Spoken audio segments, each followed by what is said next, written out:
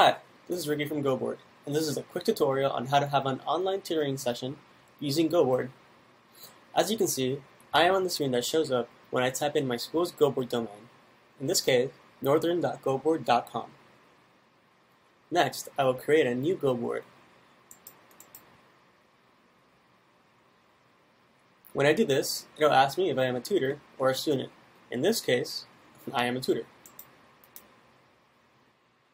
It will now ask me if I'm affiliated with a college or university, in which case I will write Northern University, and there it is. I click on it, and then it'll give me the option to log in with whatever service I signed up with. So you can log in with Facebook, with Apple, or with Google.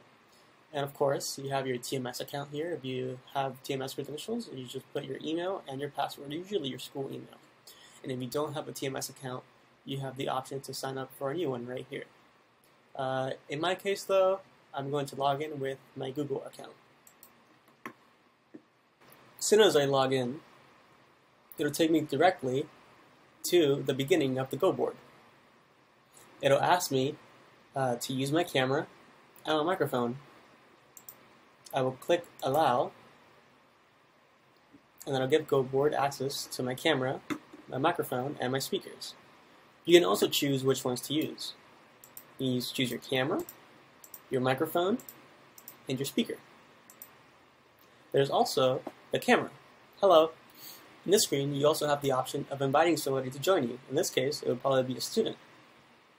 You click on this button, and you can copy the link to the GoBoard by clicking here, or you can simply invite somebody by writing their email address here and sending it to them. So let's go right into the GoBoard and see what's up. As you can see when we go in, you can see at the top right is a camera.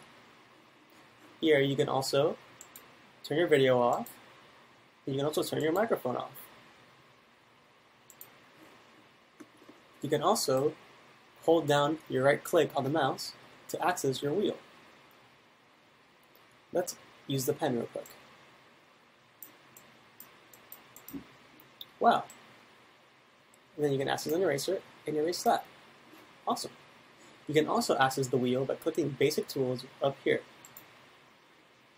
As you can see, it's the same wheel that was accessed earlier. You can also click here in More Tools to access a vast library of many different things. There's also specifically math, chemistry, physics, and business tools. There's also a reference library.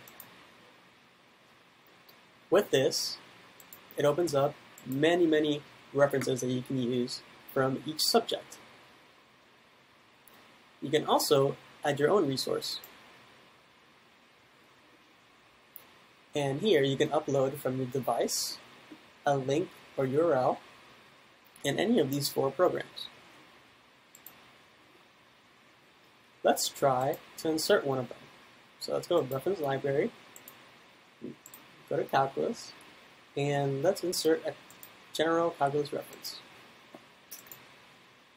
As you can see, it inserts it into the GoBoard, and I can move it, and I can also resize it.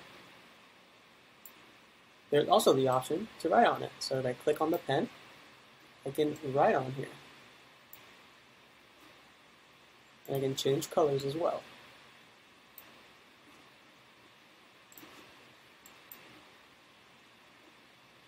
To end the session, all you have to do is close the browser or tab up here.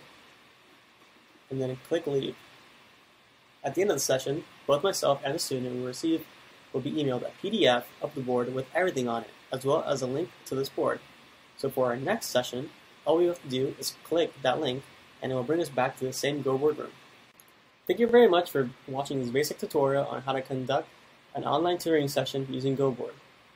Please send us any questions or ideas that you may have to help at tutormatchingservice.com. Also, don't forget to visit our Tutor Matching Service YouTube channel for more videos on GoBoard features, tips, and tricks. Thank you and have a wonderful day.